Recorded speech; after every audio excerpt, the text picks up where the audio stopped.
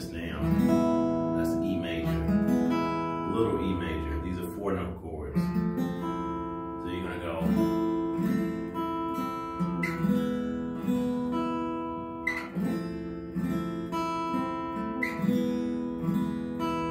Then you're gonna go open one, four, open two, three, one, two. That's the first part of the scale. Yeah.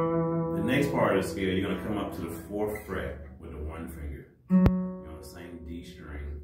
You're gonna go one, two. Then you're gonna go to the G string, same frets. One, two. B string, one, two. So real time. Then you're gonna come here to the seventh fret, B string. One, two, E string, seventh fret, one, two, 11th fret, one, two, you end on the E.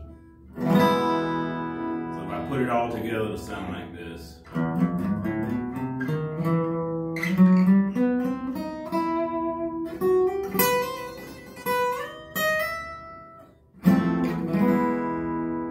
Okay, so I'm gonna upload that to our, our